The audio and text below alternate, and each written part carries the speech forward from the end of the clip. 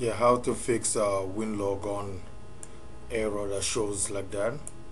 All you have to do is just go to ms config like I says over here go to ms config the search box if it's Windows 7 just type this one right here ms config ms config then press enter.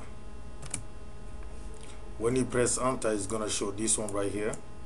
Let me put this right there now first you have to first thing you need to do first start it in normal. Just make sure that this is normal. Sometimes it's over here but just click this part and press apply and ok. And your computer will restart.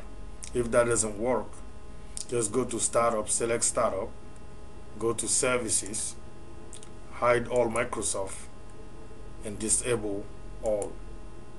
Now you go to startup then disable all and that's it. Then when you click apply then OK. It's gonna ask you to restart your computer.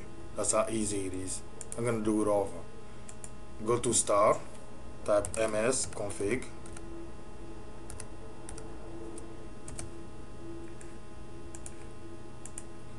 ms config. Then this window will pop up. When it pop up just go to start I mean normal start first then click apply. Then OK then your computer will restart. If that doesn't work go to the same thing ms config. Then click set, I mean select uh, startup go to services hide all Microsoft then disable all and you go to startup the second one and disable then click apply and OK then you could restart your computer without a problem. That will help.